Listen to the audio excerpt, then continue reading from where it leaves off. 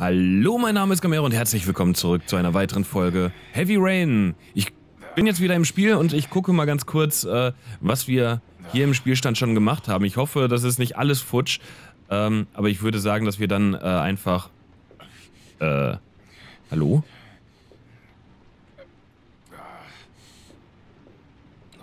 Ähm... Ich weiß nicht, warum ich jetzt gerade hier gar nichts mehr machen kann. Was ist denn das für ein Scheiß? Hier kannst du nicht mehr... Okay, ich äh, mach mal ganz kurz irgendwie ein paar Gedanken. Er hat Probleme. Ich kann nicht einfach weggehen und ihn sich selbst überlassen. Ja, das ist natürlich gut. Er ist völlig neben der Spur. Was zum Teufel ist mit ihm passiert? Tja, ich denke mal, das werden wir äh, auch in Form von Madison rausfinden. Das geht mich nichts an. Ich lasse ihn da und sage an der Rezeption Bescheid. Ich helfe ihm erst und dann stelle ich Fragen. Okay. Er will nicht ins Krankenhaus? Warum? Okay, alles klar. Ich denke mal, wir quatschen einfach nochmal mit ihm. So, komm schon. Sie sehen schlimm aus. Sie müssen zu einem Arzt. Ah, jetzt haben wir natürlich alles nicht gemacht, ne? sind wohl ein oder zwei Rippen kaputt. Okay. Ich werde schon nicht sterben. Ich würde sagen, wir machen... Aber es tut sau weh.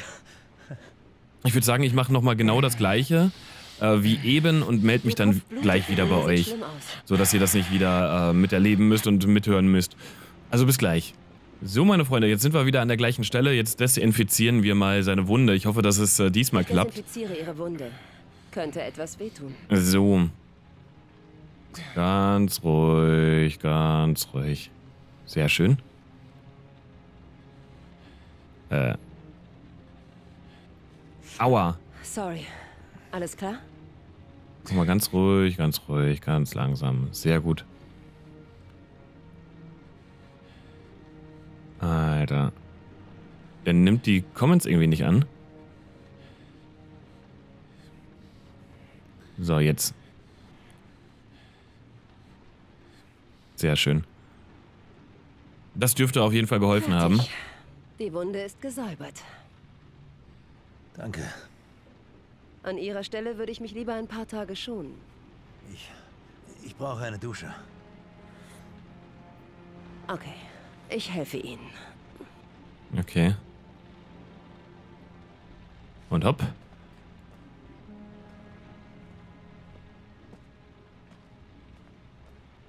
Ja, der arme Ethan. Ich warte, bis Sie rauskommen. Wenn sie wüsste, Sagen Sie, wenn Sie was brauchen. wenn sie wüsste, was los ist.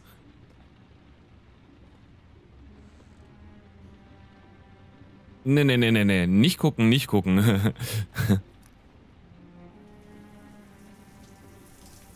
Reden Sie. Dann weiß ich, wenn Sie umkippen. Wie heißen Sie? ähm, Madison? Madison. Wohnen Sie hier im Hotel? Nein, ich wohne in der Stadt. Ich leide an chronischer Schlaflosigkeit. Ich kann nur in Hotels schlafen. Keine Ahnung, warum. Wenn ich zu müde werde, dann verbringe ich die Nacht hier. Ich, äh, ich bin auf der Durchreise. Was machen Sie sonst, Madison? Wenn Sie nicht Fremde verarzten. hm. Ich bin Fotografin. Ich äh, fotografiere Möbel für trendige Designmagazine. Und Sie? Ich bin Architekt. So, schauen wir nochmal. Hä? Ah, er ist fertig. Okay, alles klar. Da bin ich mal gespannt, was jetzt passiert. Ich setze mich einfach mal äh, hier hin.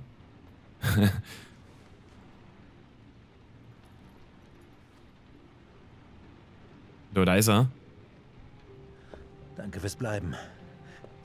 Mir geht es viel besser jetzt.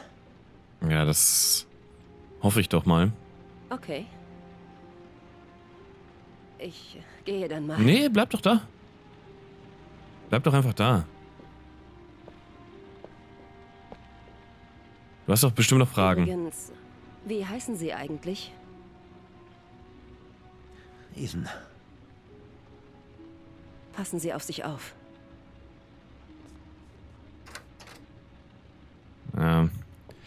Ob das so funktioniert mit dem Aufpassen, weiß ich auch nicht. So, jetzt spielen wir Ethan.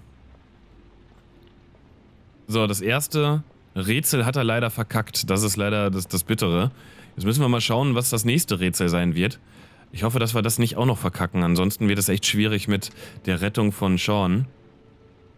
So. Nummer 2 wäre das nächste. Ich denke mal, dass das wirklich äh, aufeinander aufbauend ist, dass wir nicht irgendwie vier oder fünf schon machen können und äh, dann vielleicht wissen, was passiert. Sind Sie bereit? Äh, Alter. Jetzt konnte ich es leider nicht vorlesen.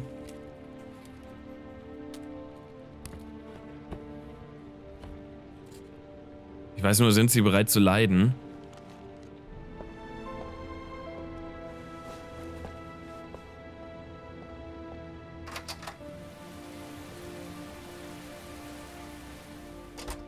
Okay.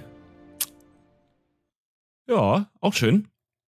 Ja, ich wüsste jetzt gerne, was, ähm, was da gewesen ist und was, äh, was da stand.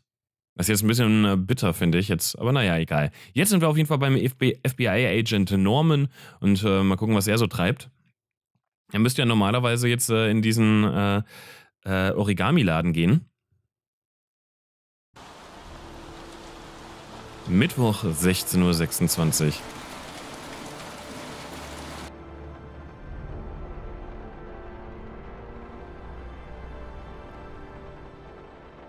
Sie hätten schießen sollen. Nein, hätten wir nicht. Wie? Da drin.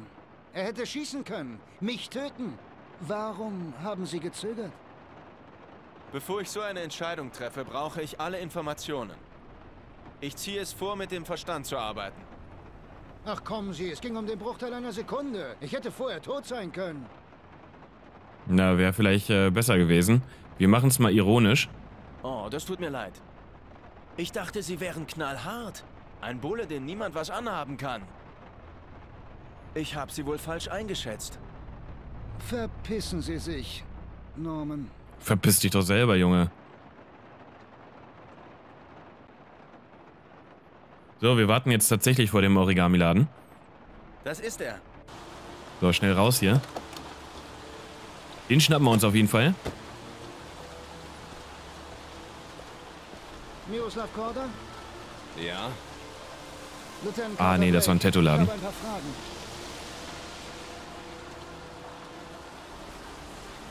Alter. Scheiße, worauf warten Sie? Er haut ab. Lauf! Lauf, Norman! Du bist doch trainiert. Ah, Gott. so, komm, komm, push dich. Gib Gas. Hol ihn dir. Nein! Oh mein Gott. Shit. Das war schlecht. So. Oh, ich hasse diese Quicktime-Events. Die verkacke ich doch dauernd. Mann, jetzt und... Oh.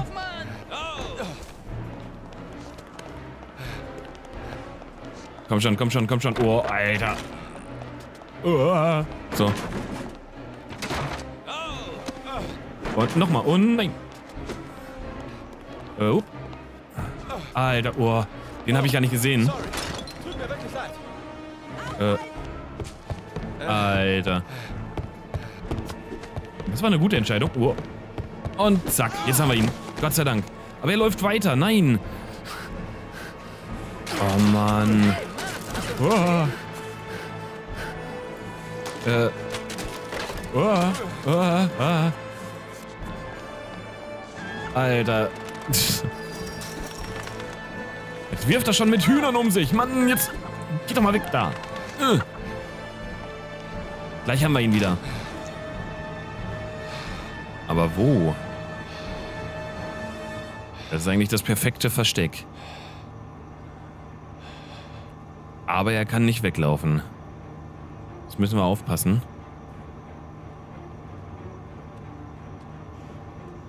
Komm schon. Konzentrier dich, Norman. Alter. Die Steuerung. Alter. Wo ist der Typ? Hier ist er nicht. Okay. Ah, Alter, habe ich mich erschrocken. Meine Güte. Oh, stark. So, wir kriegen ihn, wir kriegen ihn, wir kriegen ihn. Sehr gut, sehr gut. Und. Und.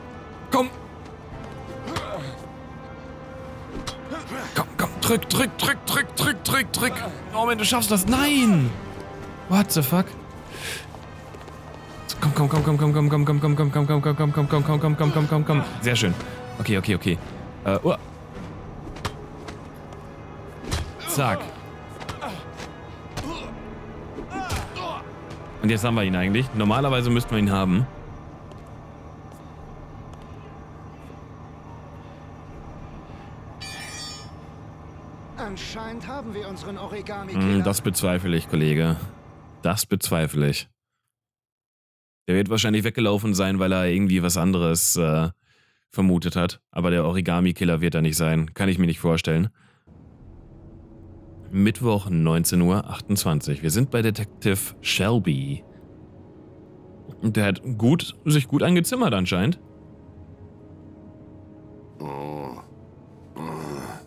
Alter.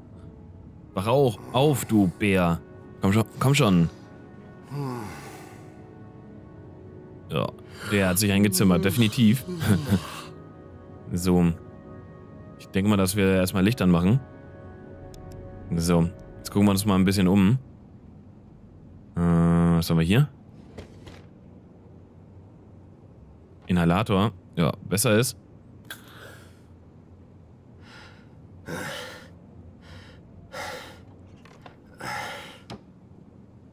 Jetzt geht's dir bestimmt schon viel besser. So, was haben wir hier drin? Ja. Genau, erstmal ein Trinken. Nee, nee. Das lassen wir mal. Das lassen wir mal. Gucken wir uns erstmal die anderen Sachen noch an. Das ist, glaube ich, viel interessanter. Ähm, die Dienstmarke.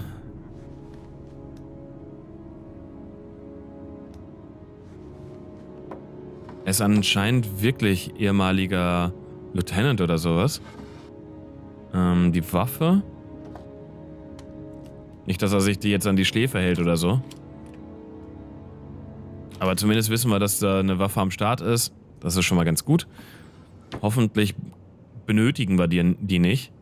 Das wäre dann eben nicht so gut. So, jetzt schauen wir uns mal die Unterlagen hier an.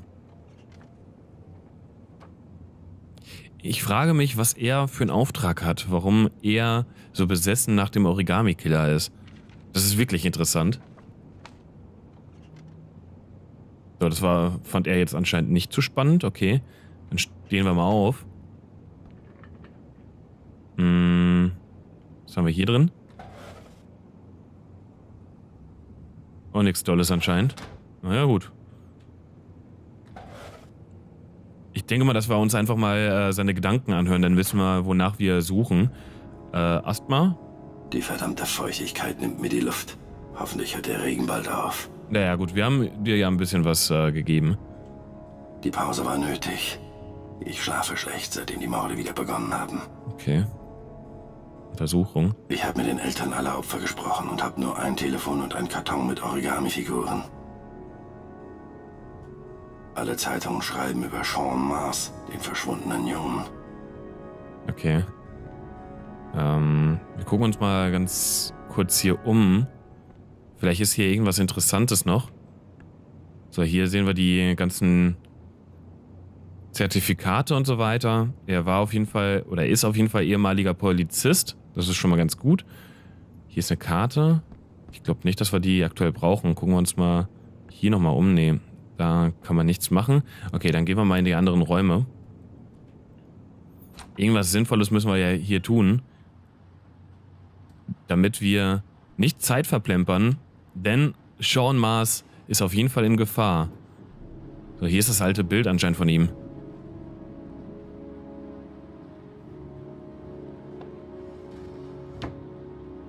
Ja, er scheint irgendwie suspendiert worden zu sein oder so, ich weiß es nicht. Auf jeden Fall sehr, sehr kurios. Hier wird es wahrscheinlich ins Bad gehen, ja. Komm. Erfrisch dich mal ein bisschen. Dann geht's dir auch wieder gut.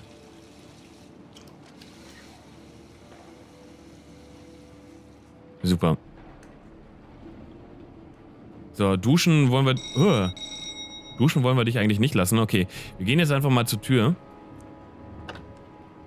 Mal gucken, wer, wer das ist. Ich habe irgendwie das Gefühl, also von der Hand her sah das tatsächlich aus wie Madison.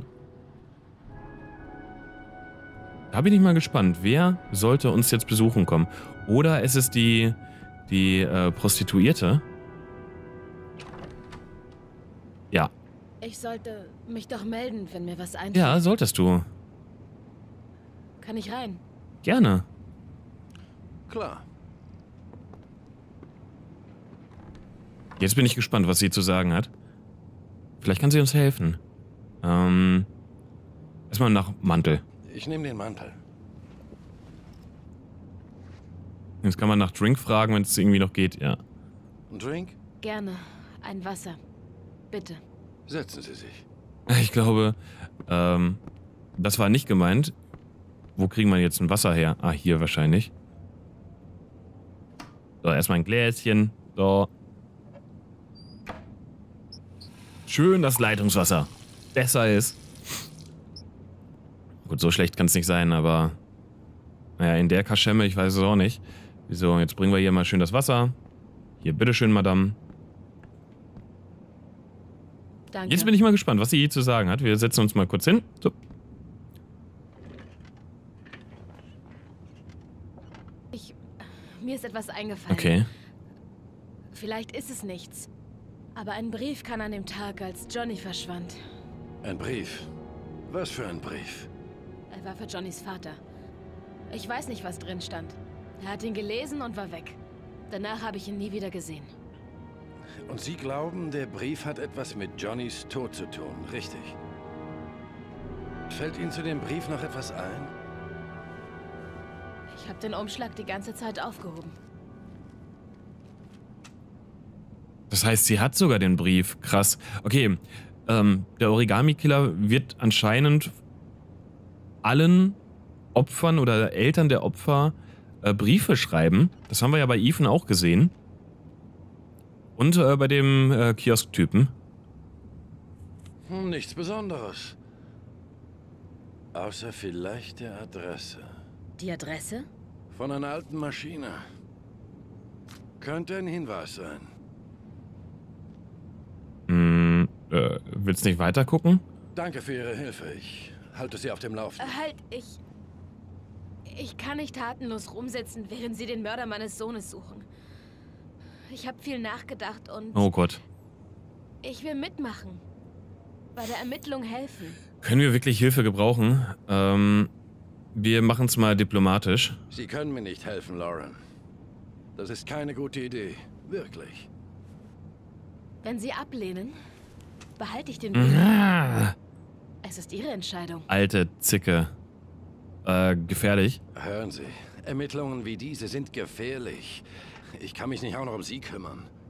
Wie viele Hinweise haben Sie, Mr. Shelby? Dieser Umschlag ist vielleicht Ihre einzige Spur. Da hat sie nicht ganz unrecht. Verstehe. Eine dumme Idee. Nee, nee, nee, warte, warte, warte, warte, warte, warte, warte, warte, warte. Halt. Sie sind schon was Besonderes. Hut ab. Ich bin eine Mutter. Eine Mutter, die den Mörder ihres Sohnes finden will. Also, sind wir Partner? Puh, schwierig. Aber ich glaube, es muss sein. Partner.